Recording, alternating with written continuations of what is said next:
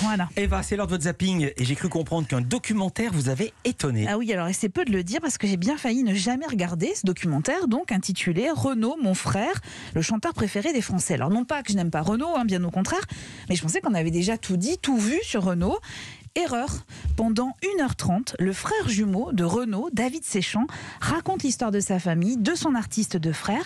Un récit émouvant, lucide et en rien dithyrambique. Leur petite sœur témoigne également. Et bien, résultat, le documentaire est ponctué de moments étonnants comme celui qui suit. David évoque leur père, écrivain, auteur notamment de Polar, un modèle pour Renaud. Renaud, euh, évidemment, euh, s'est essayé un jour euh, au style.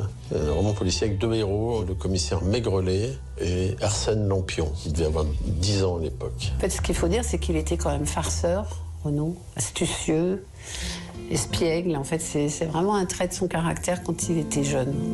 Alors de l'enfance de Renaud à l'enfance de sa fille Lolita, il n'y a qu'un pas. Écoutez cette archive, elle a déjà été diffusée, hein, mais le chanteur répond à une interview. Du haut de ses 3-4 ans, la petite Lolita débarque. Lola, je veux pas que tu restes ici, t'as compris? Pourquoi Parce qu'il y a la télévision. Maman, je veux rester. Bon, eh ben, quelle autorité ce mec Je m'en fous, je vais le dire avant, ça, tu vois, ça va gueuler. Elle est restée évidemment. hein.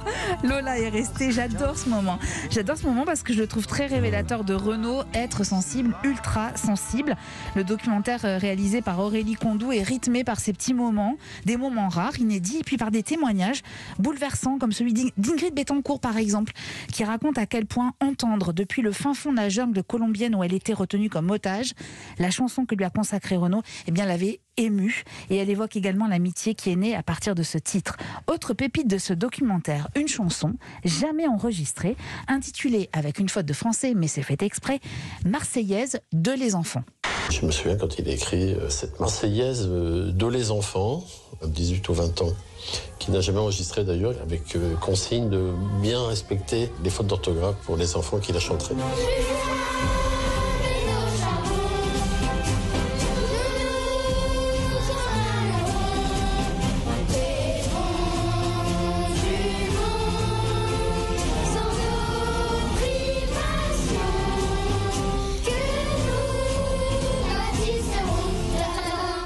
Ça s'appelle Renaud, mon frère, le chanteur préféré des Français. C'est à voir sur TMC à partir de 21h15. Merci beaucoup Eva Rock, merci beaucoup Bertrand Chameroy. Eva, tu vas voir, je vais le dire à maman, ça va gueuler.